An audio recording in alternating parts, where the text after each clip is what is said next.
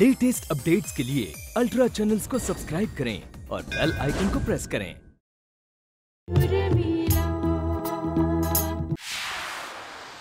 तुम्हें समझ में नहीं आता? मैं राहुल नहीं सतीश हूँ। अच्छा। तो तू हमें यहाँ ये बताने आया है कि तू राहुल नहीं सतीश है। मैं मैं आप लोगों से सिर्फ़ ये कहने आया हूँ कि आप लोग प्लीज़ प्लीज़ मेरी ज़िंदगी से दूर रहिए। मेरी पत्नी मेरी पत्नी श्वेता को मुझ पर यकीन नहीं है। आप लोगों की वजह से मेरी ज़िंदगी नर्क बन गई है। अच्छा तेरी ज़िंदगी नर्क बन गई है इस बात की तुझे बहुत तकलीफ़ है। और तूने जो हमारे घर परिवार की ज़िंदगी को नर्क बना रखा है वो कुछ नहीं। मेरी बेटी की ज़िंदगी को बर्बाद कर रखा है वो कुछ नहीं। तो उसके लिए मैं जिम्मेदार नहीं हूँ। अच्छा तू जिम्मेदार नहीं है। क्या कर रहे हैं आप? भी तू कहेगा कि तू राहुल नहीं सतीश है। मैं सतीश हूँ। सतीश। मैं सच मैं सच आप, आप, आप मार क्यों रहे देख देख मेरी बेटी की तरफ़ देख मेरी बेटी की हालत। क्या इसकी मांग का सिंदूर ये भी झूठ है? क्या इसका ये मंगलसूत्र ये भी झूठ है? तो इसके लिए मैं जिम्मेदार कहाँ हूँ? तो ही जिम्मेदार है हर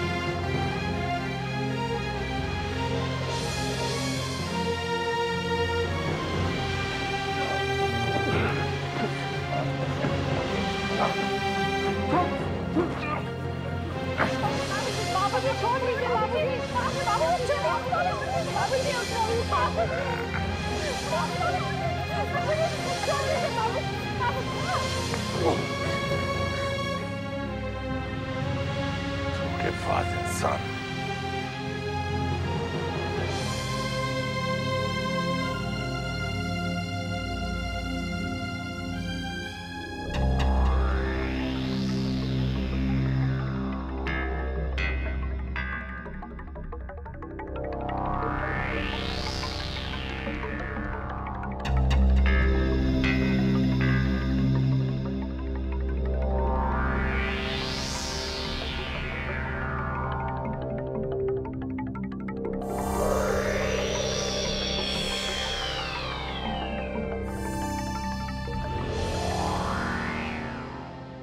भाग गया फकड़ा हम उसके सामने बड़े प्यार से उसके हाथ पाँव जोड़ते रहे और वो हमारे सब्र का इम्तिहान लेता रहा।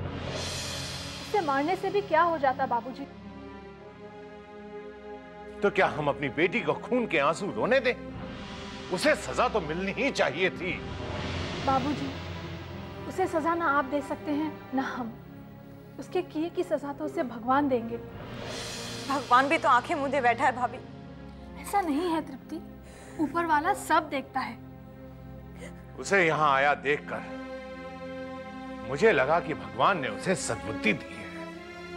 वो अपने किए पर यहाँ प्रायश्चित करने आया है। लेकिन नहीं यहाँ आकर फिर वही राग अलाप रहा था कि मैं राहुल नहीं सतीश हूँ सतीश। बेशर्म कहीं का। तृप्ति अब तो तुम्हें यकीन हो गया ना? कि राहुल को तुम्हारी कोई परवाह नहीं। उसके साथ अब कोई भी रिश्ता जोड़ना तुम्हारा अपना अपमान है।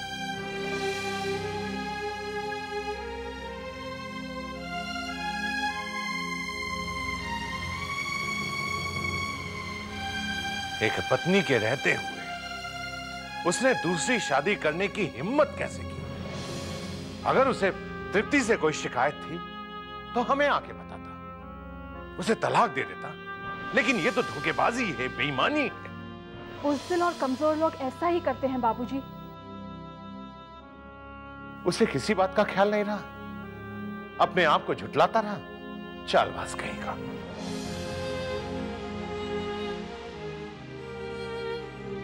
जब वो ये मानने को तैयार ही नहीं कि वो राहुल है जब उसे तृप्ति के आँसू उसकी तड़प ही नहीं दिखाई देती तो फिर उसे रिश्ता जोड़कर क्या हासिल होगा? हमने उसे अनाथ समझकर उसे अपने घर में सहारा दिया। तृप्ति ने उसे अपनी ज़िंदगी सौंप दी। और वो धोखेबाज। बाबूजी अब हमें गुस्सा छोड़कर ये सोचना चाहिए कि आगे क्या किया जाए। राहुल से तो कोई भी उम्मीद लगाना फिर से अपने आप को धोखा देना है। हम और हमारे समाज के लोग शादी के बंधन को एक पवित्र बंधन मानते हैं। और इसने इस बंधन की लाज भी नहीं रखी। हमारी परंपराएँ, हमारी आस्था और हमारी भावनाओं का इसने मज़ाक उड़ाया है। न जाने जीवन में और क्या क्या देखना बाकी है। सतीश? ये क्या हुआ सतीश? चोट कैसे लगी तुम्हें? सतीश मैं तुमसे कुछ पूछ रही हूँ। ये चोट कैसे लगी तुम्हें? ये सब तुम्हारी वजह से हुआ। मेरी वजह से? मैंने क्या किया? तुम ही कहते रहती थी मुंबई क्यों नहीं जाते मुंबई क्यों नहीं जाते? ये सब तुम्हारे कहे का नतीजा है। अरे मुंबई तुम खुद गए। इसमें मैं जिम्मेदार कहाँ से हो गई? अच्छा बताओ ये चोट कहाँ से लगी? श्वेता जब तुम्हारा मेरा कोई लेना देना नहीं है कोई रिश्ता नहीं है तो ये झूठी हमदर्दी क्यों दिखाती हो? बताओ ना सतीश। वो स्कूटर से टकरा गया था। आँखें बंद करके चल रहे थे क्या? अरे अगर ऐसे ही चलोगे तो चोट ही लगेगी ना।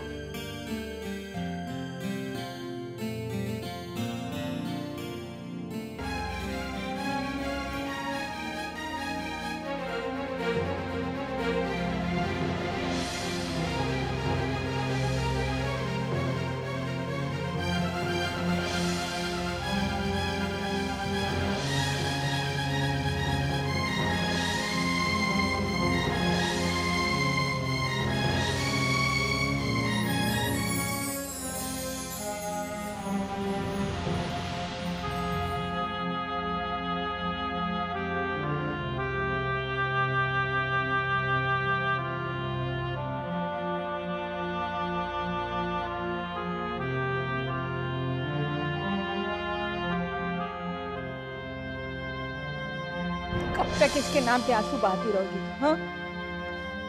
माँ मुझे कुछ समझ नहीं आ रहा। समझना तो पड़ेगा ही बेटा। तुम्हारे आगे पहाड़ सी ज़िंदगी पड़ी है। इस तरह कैसे गुजरेगी?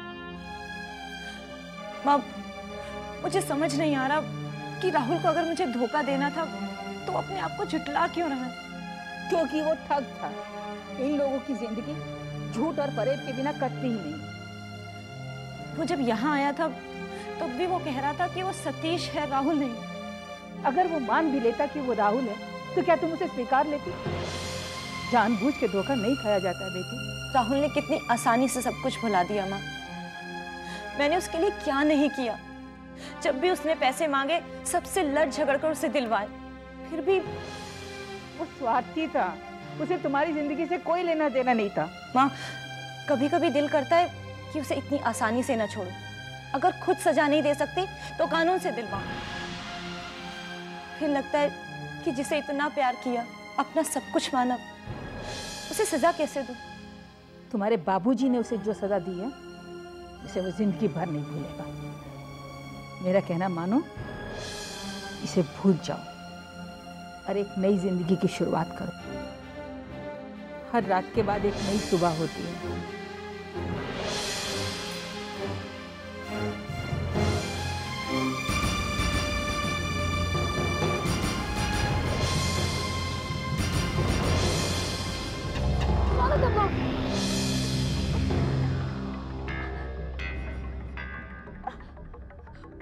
नहीं।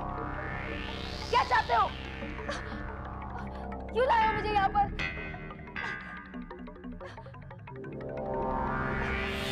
बोलो जवाब क्यों नहीं देते? किसने भेजा तुम लोग यहाँ पर? तुम? तुम यहाँ क्या करने आए हो?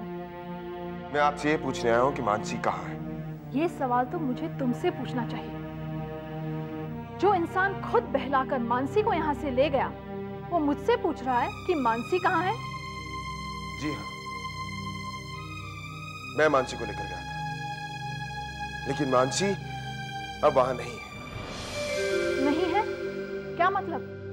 मतलब वो सुबह से ही गायब है। मैं उसका फ़ोन मिला रहा हूँ लेकिन फ़ोन नहीं लग रहा। बहुत टेंशन में हूँ। तुम यहाँ आकर मुझे टेंशन दे रहे हो। जब तुमने अपने छल बल से उसे अपनी ओर खींच ही लिया है तो फिर उसकी सारी ज़िम्मेदारी तुम पर है। जाओ ढूंढो उसे। पता लगाओ कि वो है कहाँ। हर जगह पता लगाने के बाद ही मैं यहाँ पर आया हूँ। क्योंकि वो आप ही हैं जिसे कतई ये पसंद नहीं था कि मानसी मेरे साथ मेरे घर में रहे। अब प्लीज़ उसे छिपाइए मत उसे मेरे सामने लेकर आइए। मैंने मैंने मानसी को छुपाया है। कहीं तुम पागल तो नहीं हो गए हो? अगर मैं चाहती तो उसी दिन मानसी के कान पकड़कर उसे यहाँ ले आती। और तुम कुछ नहीं कर पाते। तो फिर आपने ऐसा क्यों नहीं किया? सिर्फ़ इसलिए कि वो अब बच्ची नहीं रही। अपना अच्छा बुरा वो खुद समझती है। मैं उसमें दखल नहीं देना चाहती। क्या सच में आप नहीं जानती कि वो कहाँ गई? है अगर पता होता तो क्या मैं बताती नहीं?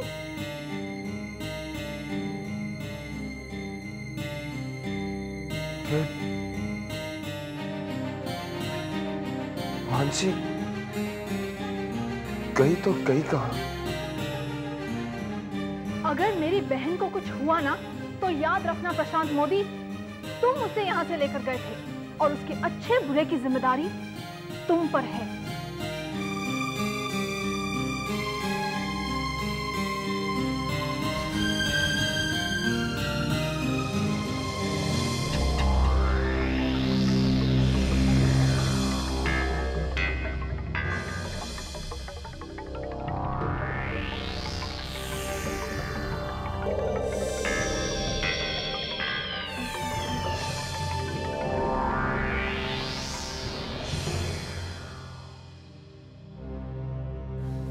निशांत निशांत गजब हो गया।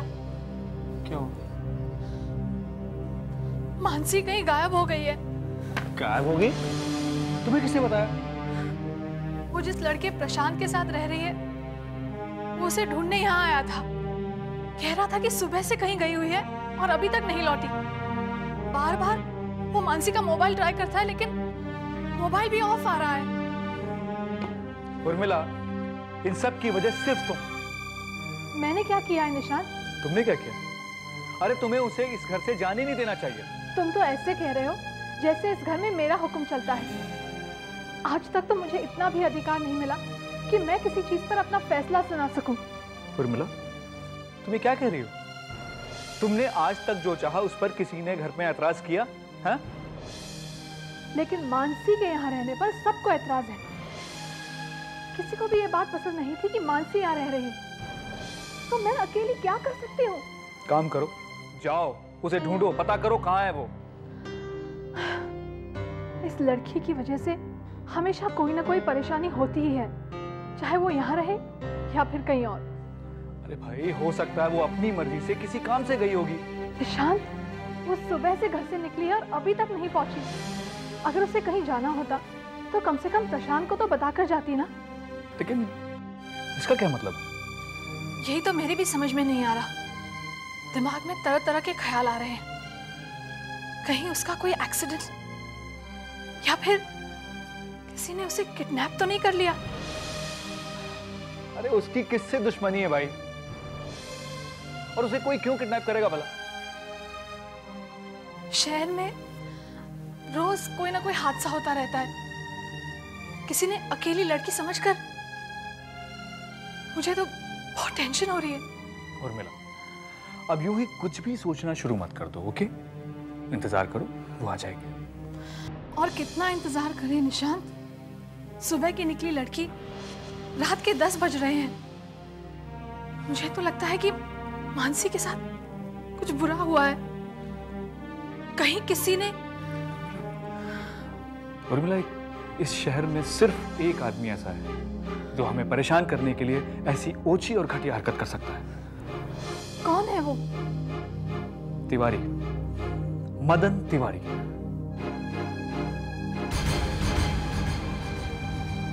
अरे हम इतनी ओछी और घटिया हरकत नहीं कर सकते।